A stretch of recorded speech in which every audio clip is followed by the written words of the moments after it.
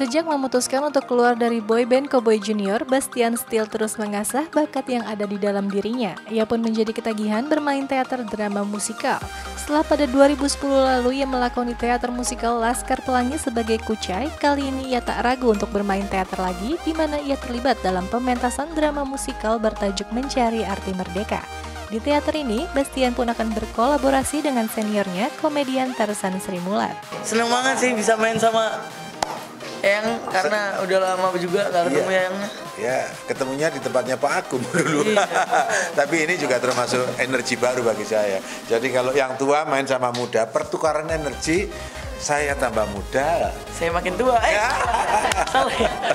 Bisa beradu akting dengan artis komedi Tarsan tentu memberikan kesenangan tersendiri bagi Bastian. Tapi di balik rasa senangnya tentu banyak sekali tantangan yang harus bisa Bastian taklukkan.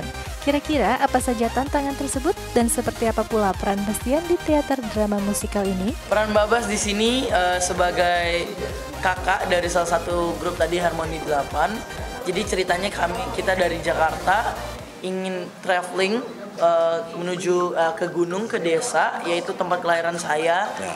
Jadi saya menemani mereka karena mereka emang ingin mencari semangat merdeka. Tantangannya bisa bermain sama Om Tarzan itu aja tantangan. Hormat.